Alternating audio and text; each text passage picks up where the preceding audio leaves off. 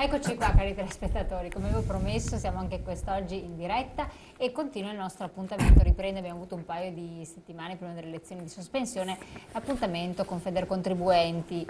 Allora chiudiamo con quest'oggi un ciclo, poi ne riprenderemo anche altri perché effettivamente gli argomenti da trattare sono tantissimi, sono di grande interesse e suscitano anche delle vostre reazioni e leggiamo spesso le vostre mail e eh, affrontiamo nuovamente un tema importantissimo e anche molto delicato, quello della crisi delle aziende, sentitissima in tutto il paese per carità, però in modo particolare in una zona particolarmente operativa come quella del nord-est e del Veneto, ma troviamo delle soluzioni, quindi a fronte di grosse difficoltà dobbiamo sempre trovare le scappatoie dove ci possono essere, quali possono essere, le vie migliori da intraprendere.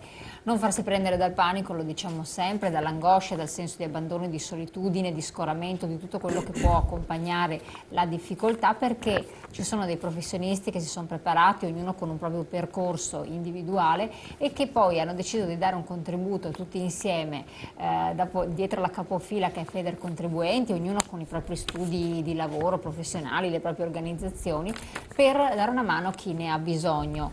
E come vedete ogni volta ci sono tanti diversi professionisti. Questo capitolo lo dedichiamo all'imprenditoria e alle modalità che possono essere escogitate. Vi presento i nostri esperti in studio.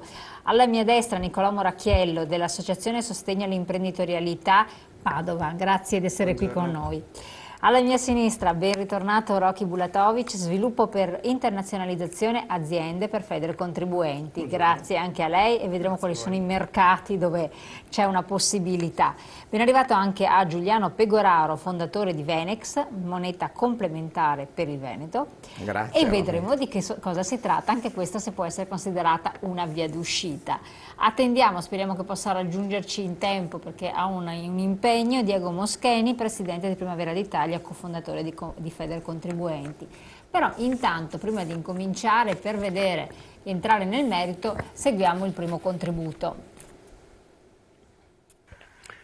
Siamo con eh, Diego Moschegni, segretario nazionale di Feder Contribuenti, per parlare del problema delle banche, un problema molto sentito in particolare in Veneto e in particolare per quanto riguarda il tessuto della media e piccola impresa. Allora, la situazione com'è in questo momento? Quali sono le cose che non fanno le banche? Le banche non stanno coadiuvando certamente le piccole e medie imprese sul territorio, nel Triveneto in particolare, che è stato sempre locomotiva d'Italia, non lo stanno facendo in, in maniera assoluta. Eh, abbiamo osservato che soltanto le, le piccole banche, le, le, BCC, stanno continuando a operare sul territorio, ma le grandi banche non abbiamo ancora nessun segnale di forte ripresa. Però hanno ricevuto molti soldi, da chi e per fare cosa? I soldi sono arrivati dalla BCE tramite Draghi, mm, coadiuvati da, da Monti, questi soldi sono arrivati in Italia all'1% di costo e sono stati impiegati dalle banche al 5% in acquisto di titoli quindi eh, tutto fa pensare e presupporre che questa fosse una manovra salva Italia e non salva imprese. Invece è diventata una manovra salva banche?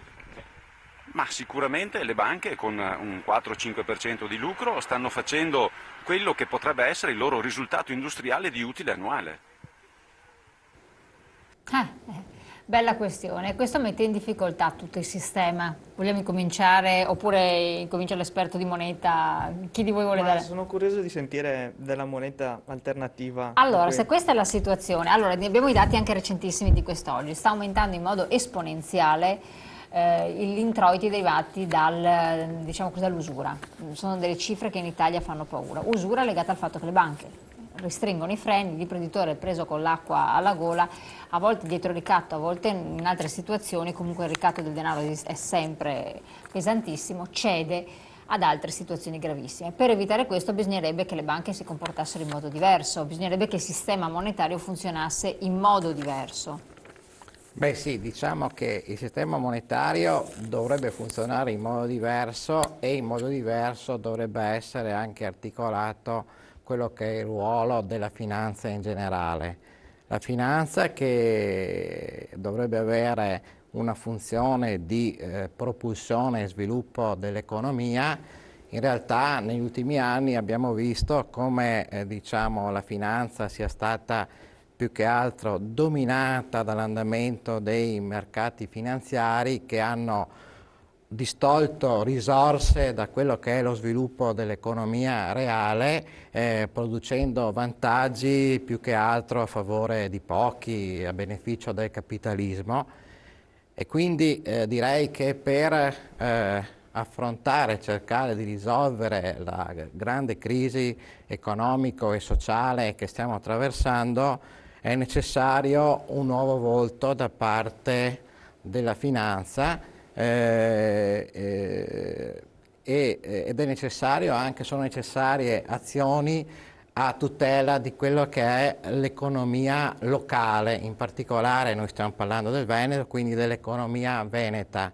Eh, molte risorse diciamo, prodotte localmente, quindi nel territorio veneto, sono state eh, portate via dalla finanza, anche con operazioni finanziarie, mettendo le aziende venete in situazioni di grandi difficoltà, difficoltà da una parte perché non hanno più eh, eh, fondi per finanziare lo sviluppo dei loro prodotti e dei loro servizi e d'altro canto perché si trovano a dover fronteggiare una concorrenza proveniente dai prodotti esteri che sono a più basso costo. Eh, quindi sappiamo tutti insomma, quali, qual è la situazione attuale, quindi che vede da una parte eh, una forte crescita e perdita di posti di lavoro, diminuzione dei salari, erosione delle pensioni, diminuzione del fatturato delle piccole e medie imprese, aziende, piccoli esercizi commerciali anche grandi che chiudono, progressivo depauperamento della, diciamo, della, della popolazione, a fronte peraltro anche di diciamo, una crescita spesso incontrollata del debito pubblico e di un crescente numero di, eh, di, famiglie e di persone anziane che non riescono più ad arrivare a fine mese. Ecco, noi, eh, io faccio parte del gruppo promotore di Venex, che è praticamente la, eh, un, un, sistema di moneta complementare che eh, abbiamo lanciato nel dicembre dello scorso anno eh, per promuovere lo sviluppo e lo scambio di beni e servizi all'interno del territorio veneto utilizzando questa moneta invece dell'euro. Cioè, cosa, come funzionerebbe eh, questo fu, sistema? funziona così, così allora eh, le aziende che aderiscono circuito, al circuito di moneta complementare Venex, Venex che è la sintesi delle parole Veneto ed Exchange sostanzialmente, le aziende che aderiscono a questo circuito si possono scambiare tra di loro beni e servizi anche senza avere euro. L'euro che uno eh, è già nelle disponibilità delle aziende oppure lo devono richiedere alle banche. Abbiamo, abbiamo, abbiamo sentito prima esatto. diciamo, Diego Moschini che ha parlato delle criticità del credit crunch delle banche che invece di concedere finanziamenti alle piccole e medie imprese investono, fanno investimenti finanziari in titoli lucrando sullo spread e tutte queste cose. Ecco, allora, Venex, la moneta complementare, eh, rappresenta una forma di liquidità, uno strumento di liquidità aggiuntivo alla liquidità che le imprese hanno o non hanno in euro e consente comunque di sviluppare, di fare operazioni quindi senza disporre di euro, peraltro eh, anche utilizzando tutta una modalità particolare che non prevede il pagamento di interessi, prevede comunque la concessione di affidamenti eh, ma senza particolari garanzie e eh, tutta una metodologia di valutazione del merito fiduciario eh, imperniata non soltanto diciamo, su, su, quelle che sono le garanzie che possono essere adotte dalle aziende, ma imperniata anche su una valorizzazione, su una considerazione di quella che è la progettualità de, degli imprenditori e delle imprese, quindi eh, eh, premiando anche diciamo, le forme di, di, di, ricerca e di sviluppo che sono molto necessarie diciamo, per fare un salto di qualità nell'attuale situazione economico-finanziaria. Ma per quel che riguarda la tassazione, perché molte volte sono le tasse tasse? Quello, no, no, diciamo, diciamo che un'operazione fatta in moneta complementare da un punto di vista diciamo, di registrazione contabile viene emessa una regolare fattura in euro, solamente che poi, eh, quindi con l'IVA eccetera certo. eccetera, solamente che viene precisato nelle modalità di pagamento che il pagamento è in tutto o in parte in moneta complementare. Allora, un'azienda che entra nel circuito vende un suo prodotto a un'altra azienda nell'ambito del circuito, emette una regolare fattura in euro, il pagamento ipotizziamo avviene il 60% in moneta complementare e il 40% in euro. Eh, eh, nel momento in cui si realizza lo scambio del bene, eh, l'azienda che vende acquisisce un credito nei confronti del circuito, credito che l'azienda stessa può spendere acquisendo a sua volta diciamo, un bene o un servizio presso un'altra azienda che, Perfetto, che fa di... parte del circuito. Chiarissimo, un attimo solo la interrompo un attimo, abbiamo sì. un'attesa, una telefonata. Pronto? Pronto, buongiorno Elena, Buon... Bianco Daniele. Sì, buongiorno, dica. Da del Lago, provincia Treviso. Sì come, come vincere le crisi? Io sono stato l'attimo 7 dopo 4 anni, no? Al giorno 7. E ritornerò per rispetto di questa emittente e la famiglia qua.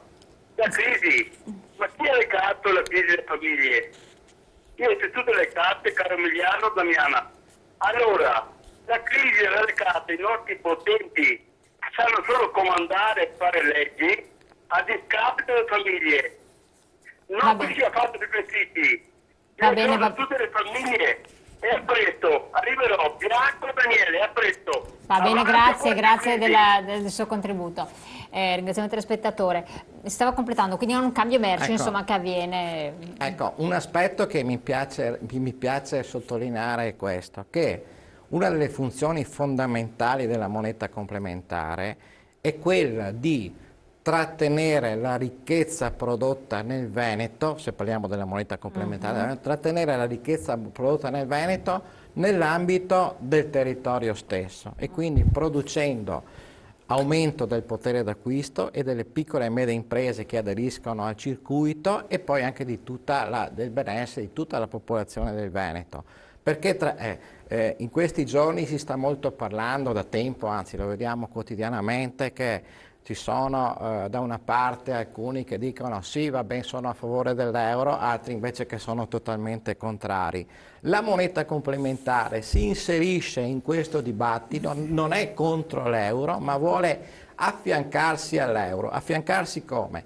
Eh, eh, qualificandosi come lo strumento di regolazione diciamo, delle transazioni di beni e servizi all'interno del territorio veneto. Ovviamente l'euro entra in, in, circolazione quando passiamo diciamo, eh, dal territorio veneto al territorio nazionale, dove diventa importante ovviamente le transazioni si liquidano in euro, e poi dal nazionale all'internazionale. Quindi può convivere benissimo uno, con l'euro ed è uno strumento diciamo, che serve proprio per trattenere le risorse prodotte all'interno del territorio della regione piuttosto che escano fuori dalla regione. E come fanno a uscire? Escono quando praticamente si creano le operazioni finanziarie. Perché? Perché la finanza spesso non utilizza le risorse che va a prelevare dal territorio per sostenere lo sviluppo uh -huh. di beni e servizi, quindi per rialimentare diciamo, un, ciclo, un, ciclo, produttivo di, altre,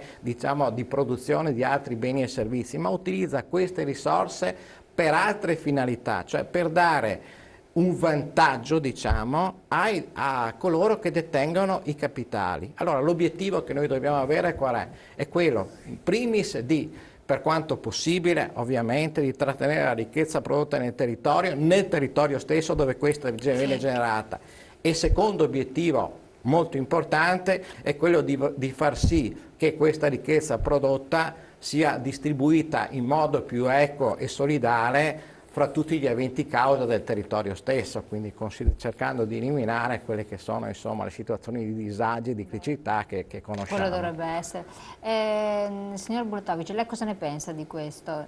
Tra l'altro lei ha anche un occhio rivolto anche verso altre realtà. Può essere interessante, può essere un escamotage, una via d'uscita. Le risulta che sia stato adottato anche in altre realtà con cui è entrato a contatto? Sicuramente è una forma da, da sperimentare in Serbia operiamo in valuta, valuta europea, in euro, tutte le transazioni vengono eh, quantificate in euro per la stabilità di, di svalutazione della moneta locale e viene fatturato in moneta nazionale, in dinari.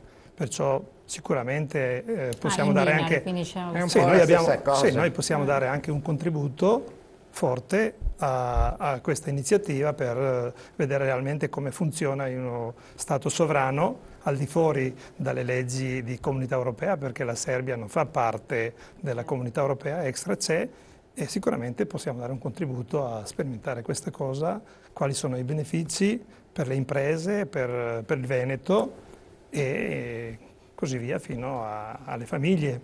Assolutamente. E dopo, dopo, entriamo nel merito specifico della Serbia, della realtà e che cosa si può anche fare, che opportunità può dare. Però tornando a questo discorso, legandomi anche all'intervento dell'intervista a Moscheni, che cosa ne dice?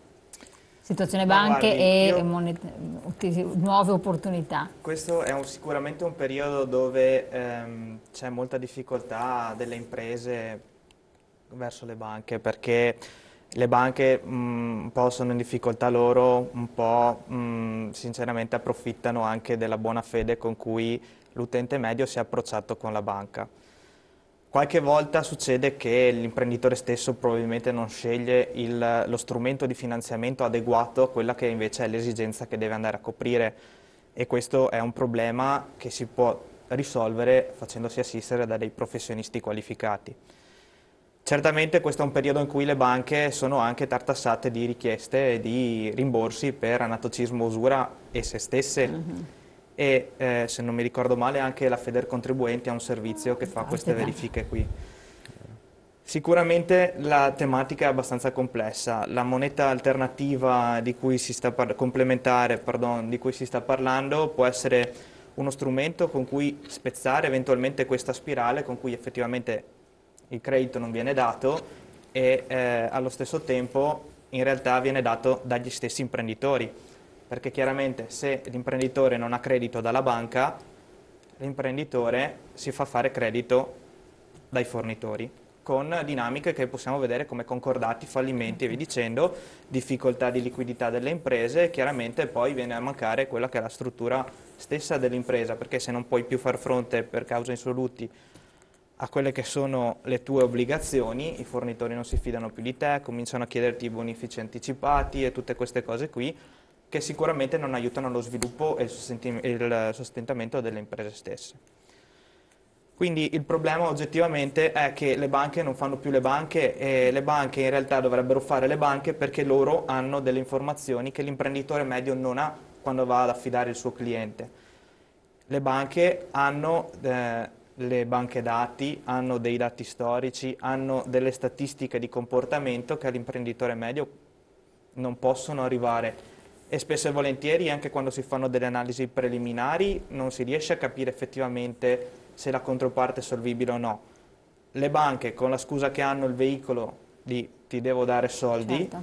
hanno la possibilità di richiedere allo stesso imprenditore che devono affidare o allo stesso privato che devono affidare notizie, informazioni, certificazioni che altrimenti non si riuscirebbero ad avere. È evidente che per passare la crisi bisogna assolutamente che il sistema bancario riprenda a fare il sistema bancario. Siamo in un circolo vizioso, la moneta complementare io adesso la sento la prima volta da, dal collega, ma mi pare che possa aiutare a spezzare questo circolo diciamo che si chiamava baratto una volta sì, e che oggettivamente è solo impostare un'altra ragione di scambio e spostare chi può emettere questa moneta, spostare questa, questo potere ad un altro soggetto collegiale, cioè tutti gli imprenditori che mettono servizi e prodotti. Chiaramente eh, il potere di battere moneta è una cosa fondamentale in qualsiasi sistema economico e quindi... Però realmente non c'è, quindi può essere un'alternativa. Allora andiamo subito in pubblicità, poi torniamo con voi anche ad affrontare altri temi.